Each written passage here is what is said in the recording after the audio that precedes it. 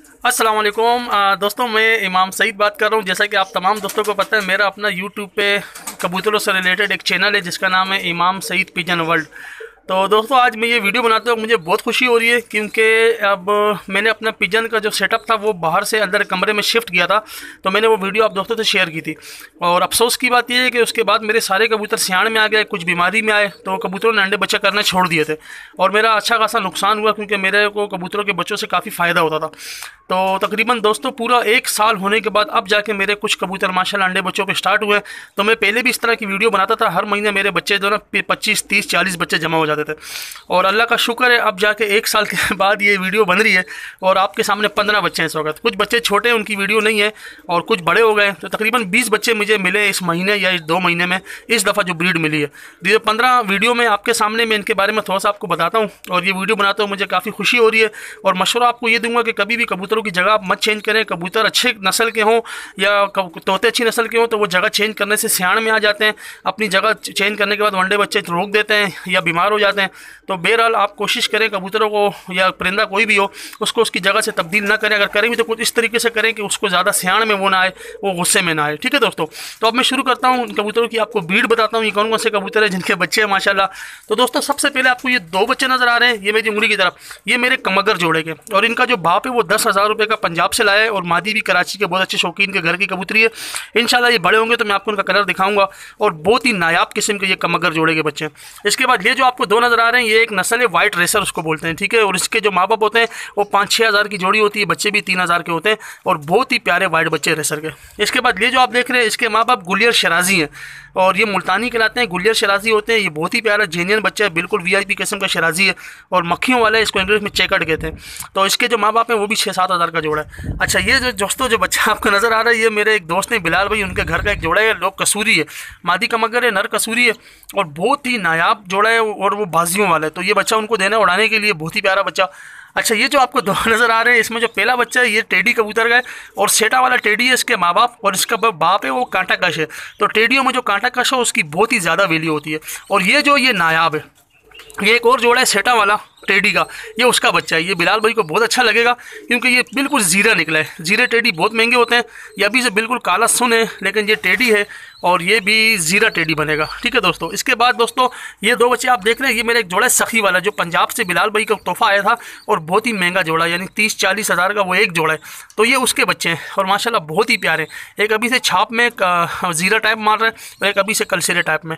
और दोस्तों, ये मेरा जो सबसे नायाब जोड़ा है छत का, जो मैंने आपको पहले भी ये बच्चा दिखाया था, ये मोती वाले जोड़े का बच्चा है मेरे घर का। और माशाल्लाह इसके जो माँ बाप हैं, वो भी तीस पैंतीस हज़ार का जोड़ा है। अगर इंसान मजबूरी में ना दे तो भी वो पंद्रह बीस हज़ार रुपये का जोड़ा है। तो ये उसका बच्चा बड़ा हो गया थोड़ा। अच्छा इसके बाद दोस्तों देखें, ये जो दो काले बच्चे, ये काले देसी के आते हैं, इंडियन ब्रीड होती है, और ये फैंसी कबूतरों में आते हैं, काले देसी। तो ये भी माशाल्लाह अच्छे बच्चे हैं, लेकिन इनकी इतनी खास वैल्यू नहीं, इनका बड़ा जोड़ा जो होता है वो चार हज़ार और बच्चे दो हज़ार के। और ये दोनों जो बच्चे दोस्तों, आप देख रहे हैं, ये नायाब हैं, ठीक है? ये ब्लैक डेनिश मैकपाई डेनिश इनको कहते हैं कटिंग के अंदर। और इनके जो माँ बाप हैं, पैंतालीस हज़ार के इसके माँ बाप हैं, पैंतालीस हज़ार के इसके।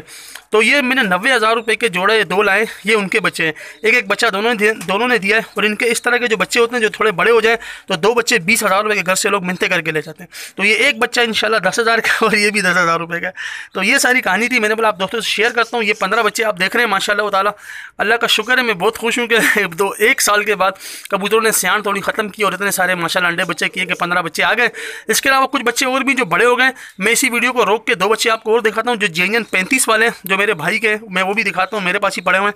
तो इनमें जो है ना, तकरीबन पंद्रह बच्चों में सात आठ आसमानी है और सात आठ फैंसी हैं। ठीक है दोस्तों, अब मैं आपको वो एक दिखाता हूँ, जो बड़े हो गए और पैंतीस वाले ठीक है दोस्तों?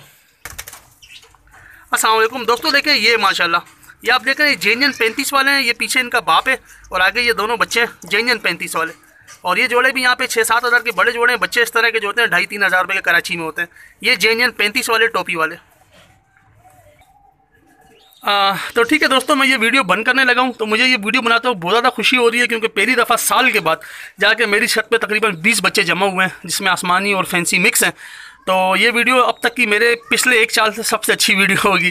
तो अल्लाह ताला आगे भी दूसरे दोस्तों के भी कबूतरों को इस तरह आबाद रखे, खुश रखे और कबूतरों से अंडे बच्चे सबको मिलते रहें और मेरे कबूतरों को भी अल्लाह ताला हिफाजत में रखे, सलामत रखे। आप लोग भी अपना ख्याल रखना और मैंने आप लोग से रिक्वेस्ट की थी कि मेरा एक और चैनल है यूट्यूब पर जो मछलियों से रिलेटेड है। जिसका नाम है फ़िशिंग बिज़नेस। वो आप लोग ला, लाजमी सब्सक्राइब करें उसको देखें ठीक है ना दोस्तों? और मैंने आपसे कहा कि पाकिस्तान में जितने भी फ़िशिंग पॉइंट हैं जहाँ लोग मछलियाँ पकड़ने जाते हैं किनारे हो या बीच समंदर के अंदर हो हाँ मेरी पूरी टीम है मैं खुद भी शिकारी हूँ मेरा मछलियों का भी एक छोटा सा कारोबार है। तो मैं उस पर वीडियो बनाता हूँ कि कौन कौन से किनारे कराची से कितना दूर है पाकिस्तान में कौन कौन सी जगह जहाँ लोग मछली पकड़ते हैं और कौन कौन सी मछलियाँ। तो मुझे अलहमदिल्ला तजुर्बा है और मैं ये काम भी करता हूँ।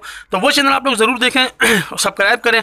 और मैंने कहा कि आप लोग का फ़ायदा होगा आप लोग को मालूम में इजाफा होगा कि पाकिस्तान में कितनी जगह हैं कौन कौन सी जगह हैं कौन कौन से किनारे हैं, उनका पानी कैसा है, वहाँ कौन कौन से लोग रहते हैं और वहाँ मछलियाँ कौन कौन सी किस्मों की हैं और मछलियों के रेट। इसके अलावा कराची में अगर आप लोग रहते हैं तो मुझे ऑर्डर भी कर सकते हैं व्हाट्सअप नंबर इस वीडियो के आखिर में डालूँगा और मछली आप लोगों घर में, मैं पैकिंग और कटिंग ये डिलीवरी ये सब मेरी तरफ़ से फ्री होता है और मछली के जो रेट होते हैं वो भी कराची की जो मड़ी मार्केट है, जिस तरह केमाड़ी हो गया, लालू खेत हो गया टावर हो गया और फिशरी से भी अच्छी और ताज़ा मछली मैं लोगों के घरों में पहुँचाता हूँ।